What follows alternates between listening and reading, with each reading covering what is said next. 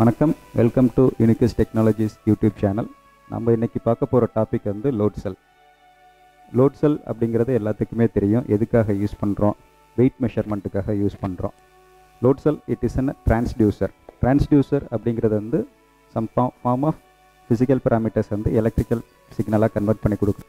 டிரான்ஸ்டியூசர்னு சொல்லுவோம். நம்ம வந்து ஃப்ளோவை வந்து எலக்ட்ரிக்கல் சிக்னலாக கன்வெர்ட் பண்ணுறது ஃப்ளோ டிரான்ஸ்மிட்டர்னு சொல்லுவோம். ப்ரெஷர் டிரான்ஸ்மிட்டர்னு சொல்லுவோம்.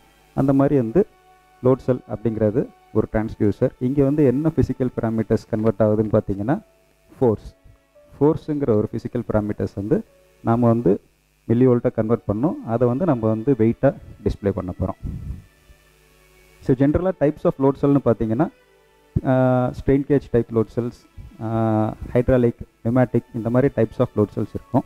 அண்ட் பொதுவாக வந்து இண்டஸ்ட்ரியில் யூஸ் பண்ணுற லோட் செல் வந்து ஸ்ட்ரெயின் கேஜ் லோட் செல் தான் யூஸ் பண்ணுவாங்க. ஸோ ஸ்ட்ரெயின் கேஜ் லோட் செல்லை பற்றி பார்த்தோம் அப்படின்னா அதில் வந்து டைப்ஸ்னு பார்த்தீங்கன்னா ஷியர் பீம் டைப்ஸ் இருக்குது பட்டன் லோட் செல்ஸ் அல்லது compression load cells S type load cells இந்த மாதிரி டைப்ஸ் ஆஃப் லோட் செல்ஸ் இருக்குது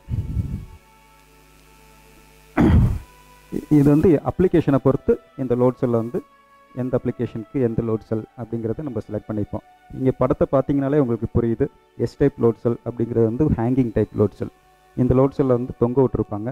இங்கே பேக்கெல்லாம் தொங்க விட்டு அந்த அப்ளிகேஷனுக்கு வந்து இந்த type of load cell use பண்ணுவாங்க.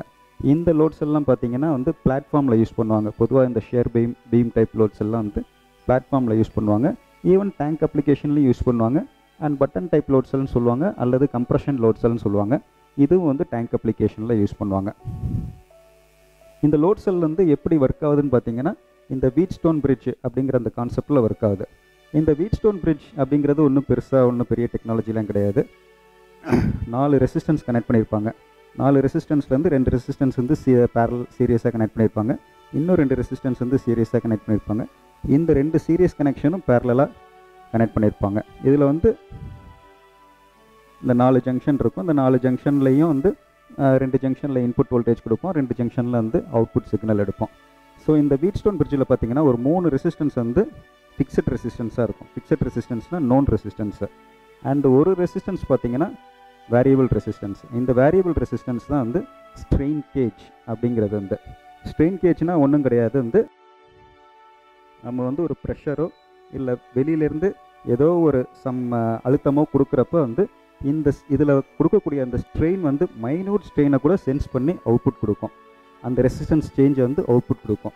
அதுதான் இந்த ஸ்ட்ரெயின் கேஜோட பிரின்சிபல் இதை கண்டுபிடிச்சது யாருன்னு பார்த்தீங்கன்னா எட்வர்ட் இ சிமன்ஸ் அப்படிங்கிற ஒருத்தர் கண்டுபிடிச்சிருக்காரு. ஸோ இதுதான் வந்து நம்ம வந்து இந்த வேரியபிள் ரெசிஸ்டன்ஸ்க்காக யூஸ் பண்ணியிருப்போம் இது வந்து ஒரு மெட்டாலிக் ஃபாயில் மாதிரி இருக்கும். இங்கே வந்து நம்ம வந்து கொடுக்கக்கூடிய ஒரு ஸ்மால் ஸ்ட்ரெயின் கூட வந்து அது வந்து அவுட்புட்டாக ஜென்ரேட் ரெசிஸ்டன்ஸில் வேரி ஆகும். இந்த வீட் ஸ்டோனை தான் வந்து நாம் லோட் செல்லில் மவுண்ட் பண்ணியிருப்போம் இந்த படத்தை பார்த்தாலே நமக்கு தெரியும். கொடுக்கக்கூடிய அழுத்தத்தினால இங்கே வந்து கம்ப்ரஸ்டோ அல்லது ஸ்ட்ரெயின் காசார ஸ்ட்ரெயினை வந்து உள்ள சர்க்கியூட் வந்து சென்ஸ் பண்ணி இந்த சர்க்கியூட் வந்து அவுட்புட்டை ஜென்ரேட் பண்ணும்.